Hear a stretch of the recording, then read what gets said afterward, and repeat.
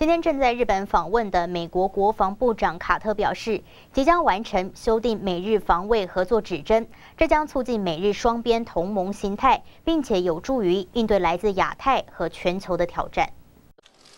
周三上午，美国国防部长卡特在东京先后与日本外务大臣岸田文雄和日本防卫大臣中谷元会晤，美日两国就更新双边防卫合作指针进行磋商。I very much appreciate the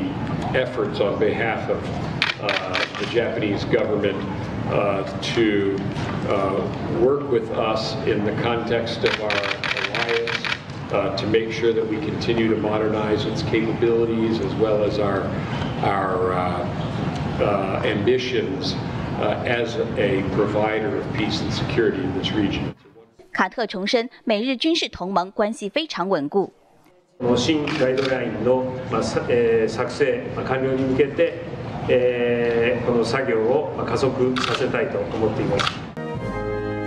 据悉，美国和日本政府计划月底在华盛顿举行安保磋商会议，两国防卫合作指针将在会议上达成正式协议。新唐人记者陈欣综合报道。